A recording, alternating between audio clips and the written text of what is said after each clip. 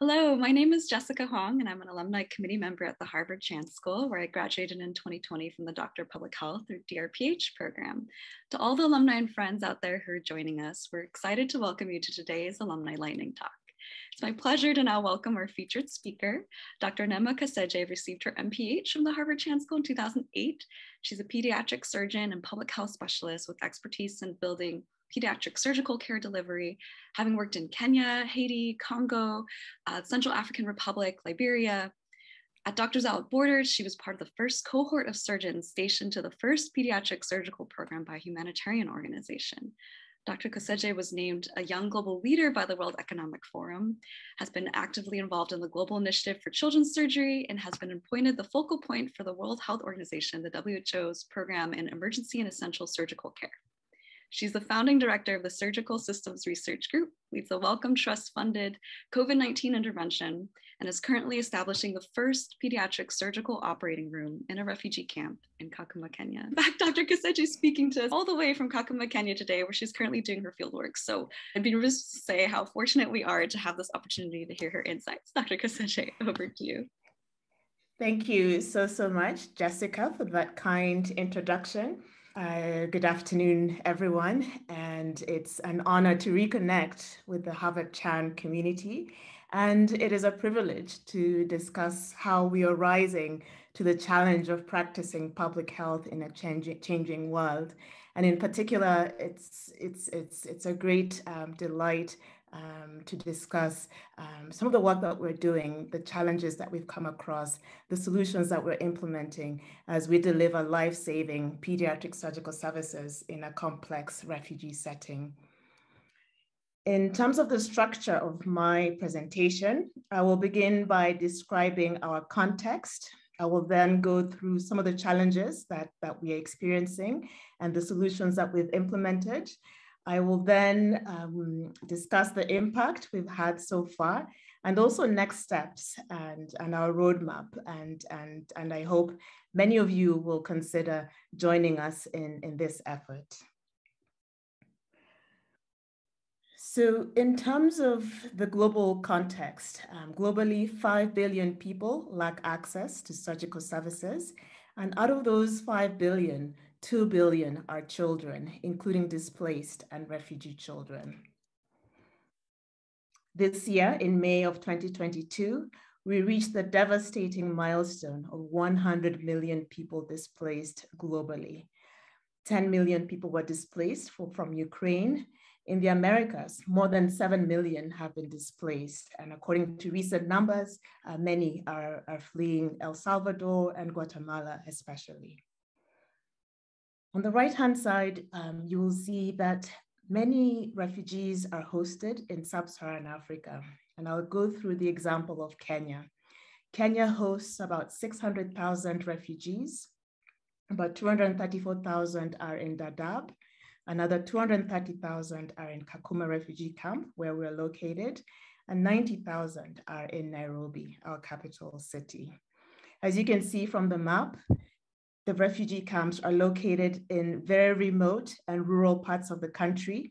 Uh, Kakuma is in the extreme northwestern part of the country. Um, Dadaab is in the southeastern part of the country. When you look at the numbers uh, on, on, on the top panel, you'll see that the vast majority of refugees are women and children. And if we take our, the example of Kenya, 76% of refugees are women and children from South Sudan, from Somalia, and from the Democratic Republic of the Congo. This is a picture of Kakuma refugee camp. As you can see from this picture, the climate is very dry uh, it's very rural. Uh, so Kakuma refugee camp is close to the borders with South Sudan, um, with Ethiopia, and also Uganda. Poverty is very high. 70% of the population lives on less than $2 per day. Malnutrition, communicable diseases, and malaria are very common. And as you can see on the right-hand side, um, Kakuma and Turkana um, are suffering uh, from severe drought and, and malnutrition rates have gone up drastically uh, because of, uh, because of uh, dry weather, uh, the lack of rains, and, and also because of increasing energy prices. Uh, and, and so as you can see, Kakuma and Turkana are one of the 10 counties in the alarm zone. So very often, current humanitarian interventions um, focus on malnutrition. Um, they focus on communicable disease outbreaks, and those are very important. Uh, but what we forget is that refugee children also present with surgical conditions. They present with injuries and disabilities um, due to the conflict and the violence that they've experienced. Um, they present with congenital anomalies. Uh, they also present with acute surgical emergencies. They also present with cancers and access to surgical services for these refugee children is very, very limited and often non-existent because of gaps in the health system. There's an insufficient workforce. Um, specialists do not go to these areas. Uh, there's inadequate infrastructure, inadequate equipment. Refugees also present with unique barriers. Often they don't speak the lo local language. Um, they don't have the financial resources to seek uh, specialized care because they do not have access to, to employment and other economic activities. And then when we consider the patient perspective, um, surgical patients in these settings tend to be more complex uh, because they not, only, they not only present with a surgical disease, but they also present with malnutrition. Uh, they present um, with uh, communicable diseases because they've missed some of their vaccines. Uh, so for example, a couple weeks ago, uh, we were dealing with a measles outbreak uh, because many children have missed out on their routine uh, vaccines. So I've described many of the challenges. So what are the solutions? We found that what is key is health systems strengthening uh, for safe surgical care provision. This requires investments in infrastructure. It requires investments in equipment, uh, pediatric surgical equipment. It is critical to build a local surgical workforce so that we can move away from the fly in, fly out model of care a community strategy is critical to optimize the detection of cases and the referral of surgical cases. It is also very important to advocate uh, for services, for more comprehensive services, to get political support and, and subsequent financial support, not just from the Ministry of Health, but also from the Ministry of Finance. And this is exactly what we've done in Kakuma refugee camp. We've invested in, in building pediatric surgical infrastructure. We've invested in, in pediatric surgical equipment. We are working very hard to build a local surgical workforce uh, so that care can happen close to the communities in need. And so far over time, we've been able to, to care for younger and younger patients and, and also uh, we've been able to care for more complex pathologies. So if you look at the left upper picture, uh, this is a picture of Sabah, a five-month-old baby uh, with, with a blood defect that we were able to uh, we were able to repair. And this is two days after her surgery, and she's doing very well, and she's gone home.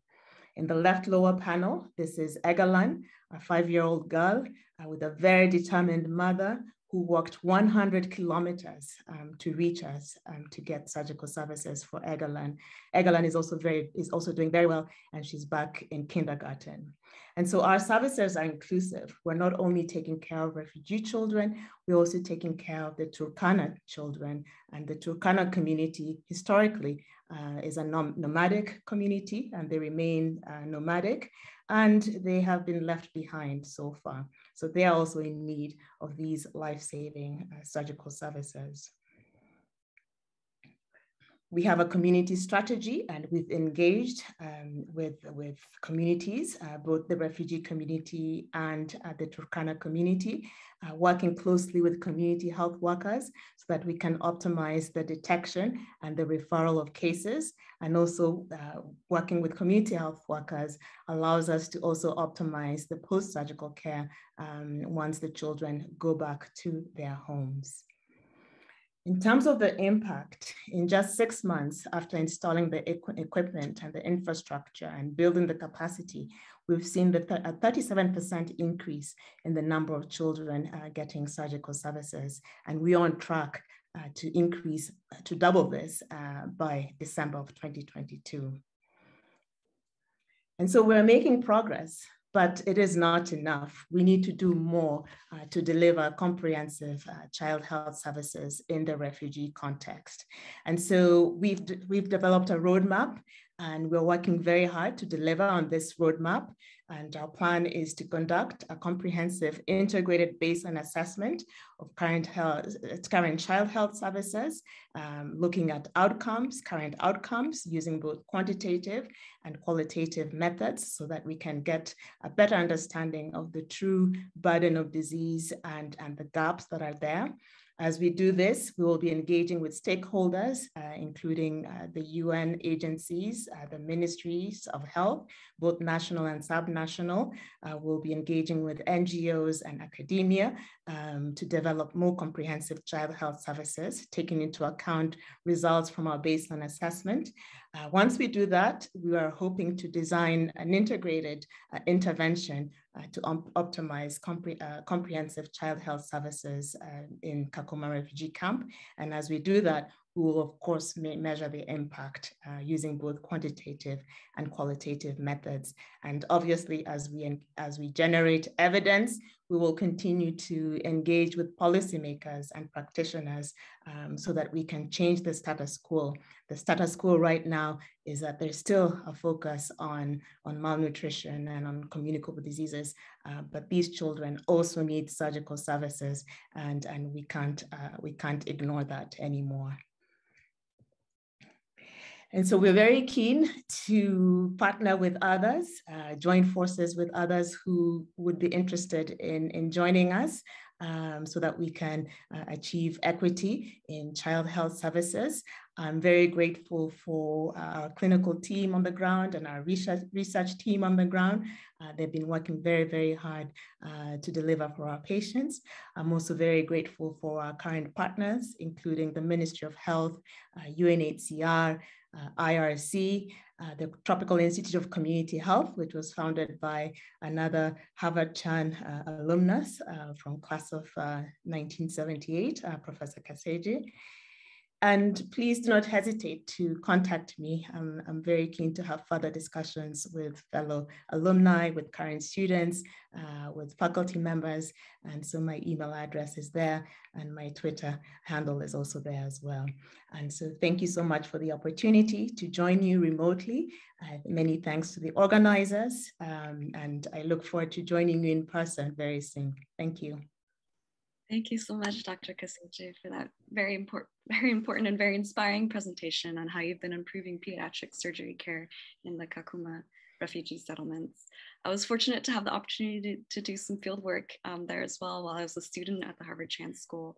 So definitely appreciate how important work like yours is to address the situation there. If it's okay, I'd like to ask you a couple follow-up questions. Uh, so, yes, of course. You've shared with us how we unfortunately live in this time of massive displacement. Um, and I was wondering about how your work can inform pediatric surgery care delivery for situations in Ukraine, El Salvador, and Guatemala, as you've described to us.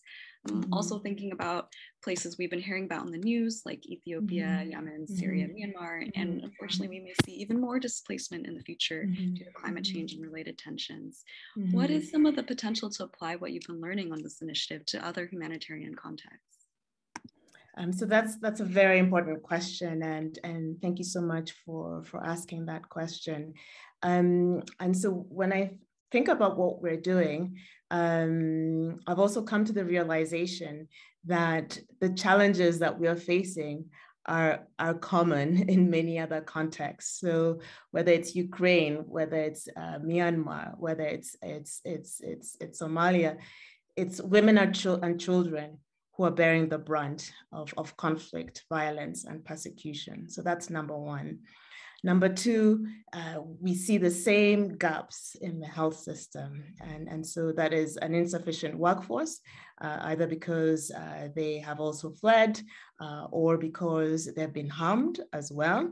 Um, we also see the health system may have gaps also because of uh, uh, the attack of, of hospitals that we're, we're seeing now, um, and that some of those humanitarian laws are not being observed uh, by different actors. Um, so those hospital buildings will no longer exist because they've been destroyed. You will no longer have the equipment uh, or, or the infrastructure. And so those challenges uh, you will see in many of these contexts. And so when it comes to the solution, you just have to rebuild. You have to rebuild the workforce. You, you have to rebuild the infrastructure, the equipment. Um, you also have to focus on maintaining peace. And, and so that requires uh, multiple partners to be involved uh, because the other issue is that some of these conflicts are, are now protracted. Um, it's, it's not two or three years anymore, uh, but it's 10 15 years, you know, if we look at the example of Syria, for instance. And so we need to move away for that emerge, move away from the emergency response um, uh, model of doing things. And we need to start building systems, uh, building systems um, so that we can respond to the acute emergency, uh, but then also build systems uh, so that uh, populations can return and, and, and, and, and that can also uh, feed into, into peace building and, and, and, and also providing the next generation with the basic services that they need. Thank you for that very thoughtful summary of, of some very complex challenges. uh, there's so much you've already been able to figure out how to do well. For example, your ability to engage all these different stakeholders, including yeah. some of the Harvard Chan School still, and this wonderful inclusive approach where you're working with not only refugee children, but also children from the host community. Um, yes. Um, hear more about um, what you see as some of the pressing remaining challenges for humanitarian pediatric surgery care delivery? Um, so uh, part of the challenges is, is at the policy level. Um, so convincing other actors that, that this is a worthwhile investment. Um, uh, for a long time, we've done the basics, you know, getting everyone vaccinated, uh, get, getting everyone fed, uh, but that's not enough. So we can't feed a child and vaccinate a child, but the minute they have uh, acute appendicitis, we say, no, that's it, we can't do more.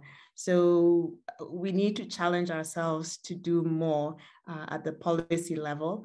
Uh, we also need to challenge ourselves to do more um, in, in terms of implementation and how we do things. So we need to be more comprehensive. We need to have a more complete uh, uh, package of, of services um, so that you know every child can attain uh, their full potential in, in terms of health and in terms of, uh, of, of, of, of how, you know, because if with a disability, they can't go to school. So it has a huge impact on what lives they'll lead in the future.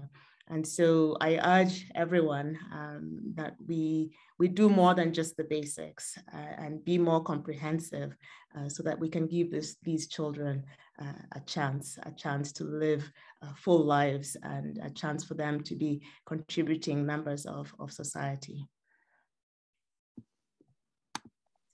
Definitely wishing you and your team the, the best as you tackle these remaining challenges to give these children the most holistic, best quality care possible and um, as you go about saving all the lives that you that you can. For the alumni who are who are listening and who are interested what are some of the ways that people can learn more get involved in, and support this important work to to make sure that this gets as far as it can go? Um, so obviously they can get in touch. Um, as I mentioned earlier, we are working very hard um, to mobilize resources uh, because it, it, takes money. So if, if anyone uh, has any links um, to resource mobilization, uh, we're happy to hear about them. Um, we're also very, working very hard from uh, you know, the, the perspective of generating evidence um, so that policymakers uh, can take action. Uh, so if anyone is interested in contributing their, their skills uh, in quantitative methods and qualitative methods, um, they're more than welcome to, to join. Um, we are doing a lot in, in terms of capacity building. So if there are any clinicians who would be keen uh, to join us, um, that is also another possible way of contrib contributing to our efforts. Um, so just they can just feel free to to reach out um, either via email or, or Twitter um, and I'd be happy to address any questions and to also talk about uh, any potential collaborations. Thank you. I really hope to see some some fruitful collaborations emerge from from this, um, so that you all can keep doing this wonderful work to, to save lives.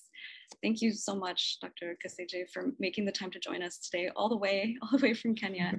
Um, and to everyone who's listening, I encourage you to check out the other alumni lightning talks as well as um, and the rest of the alumni weekend programming. Thanks again, everyone. Please stay safe and, and take care.